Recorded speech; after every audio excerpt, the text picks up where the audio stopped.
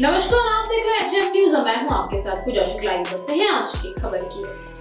जम्मू कश्मीर में इस साल विधानसभा चुनाव होने की संभावना। इससे पहले चुनाव आयोग ने बड़ा ऐलान किया। जम्मू कश्मीर के मुख्य निर्वाचन अधिकारी हरीश कुमार ने कहा कि जो गैर कश्मीरी लोग राज्य में रहे वो अपना नाम वोटर लिस्ट में शामिल कराकर वोट डाल सकते हैं। इसके लिए उन्हें निवासी प्रमाण पत्र की ज़रूरत नहीं इतना ही नहीं, उन्होंने कहा कि जम्मू कश्मीर में सुरक्षा के लिए तैनात सुरक्षा बलों के जवान भी वोटर लिस्ट में अपना नाम शामिल करा सकते हैं। हितेश कुमार ने बुधवार को बताया जम्मू कश्मीर में इस बार करीब 25 लाख नए वोटरों का नाम वोटर लिस्ट में शामिल होने की उम्मीद है। उन्होंने बताया कि कर्मचारी, छात्र, मजदूर और कोई भी गैर स्थानीय जो कश्मीर में रह रहा है वो अपना नाम वोटर लिस्ट में शामिल करा सकता है।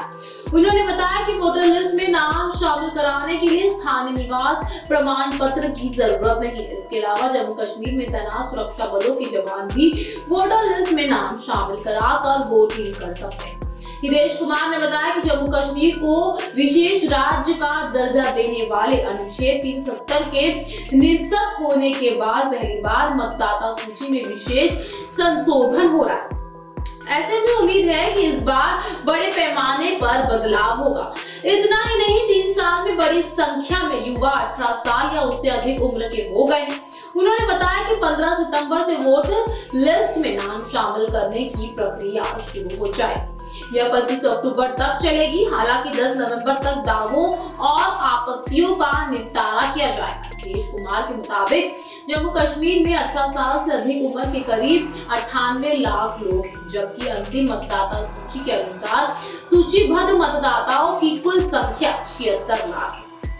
पीडीपी चीफ और पूर्व सीएम महबूब मुफ्ती ने इस मामले में केंद्र सरकार पर निशाना साधा है उन्होंने ट्वीट किया, जम्मू कश्मीर में चुनावों को स्थगित करने संबंधी भारत सरकार का फैसला।